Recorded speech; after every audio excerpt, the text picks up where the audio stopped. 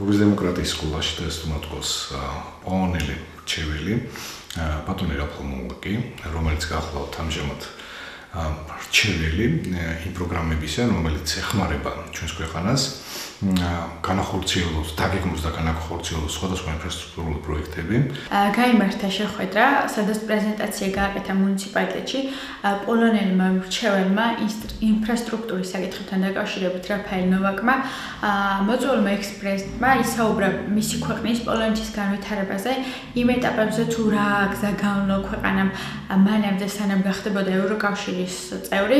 საინტერესო შეხვედრა დისკუსია გაიმართა.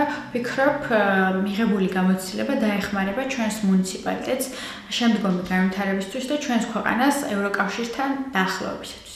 დღეს ჩვენთან სტუმრად არის პოლონეთის წარმომადგენელი, რომელიც გვესაუბრება ევროკავშირის შესახებ და იმ სიკეთეებზე, რაც ევროკავშირში გაწევრიანება მოუტანა მათ ქვეყანას. ეს შეხვედრა ჩვენთვის ძალიან მნიშვნელოვანია, რადგან ჩვენს ჯერჯერობით ეს გზა გასავლელი გვაქვს და ის გამოცდილება, რომელიც მათ უკვე აქვთ გაგვიზიარეს ჩვენ და სამომავლოდ ჩვენთვის უფრო მეტად დასაფიქრებელი იქნება ეს საკითხი.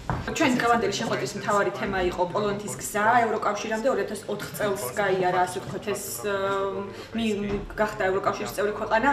წელს ჩვენ აღვნიშნეთ 15 წელი ასე ვთქვათ როგორც ევროკავშირის ოჯახის წევრმა ქვეყანამ ძალიან მალე ევროკავშირში გაწევრიანებიდან პოლონეთმა 100%-ით უკვე ასე ვთქვათ გაზარდა საკუთარი ეკონომიკა და დღევანდელი ვთქვათ ჩემი ამ თქვენთან საუბრის თემაც სწორედ ეს არის რომ ვთქვათ რა გზა უნდა გაიაროს საქართველოს რა დაბრკოლებების გადალახვა მოუწია პოლონეთს ამ გზაზე და ბუნებრივია ჩვენ პოლონელები განსაკუთრებით პოლონელებს განსაკუთრებით გვესმის საქართველოსი თუნდაც იქიდან გამომდინარე რომ გვაქვს ასე ვთქვათ ერთი წარსული